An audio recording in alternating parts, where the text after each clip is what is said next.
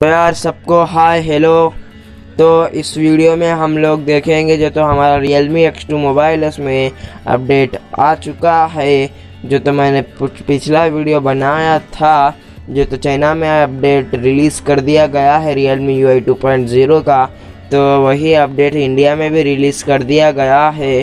तो जिसके पास तो बीटा इंस्टॉल होगा, उसी के पास ये अपडेट आएगा।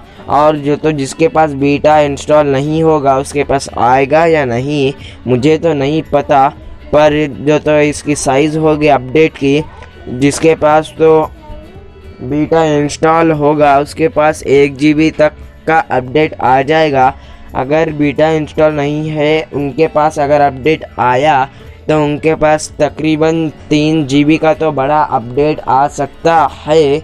तो अगर इसको, ये वीडियो अच्छा लगा होगा तो वीडियो को लाइक कीजिए और चैनल को सब्सक्राइब कर दीजिए। या खुशखबरी के लिए वीडियो को प्लीज़ से लाइक कर दीजिए और चैनल को सब्सक्राइब कर दीजिए।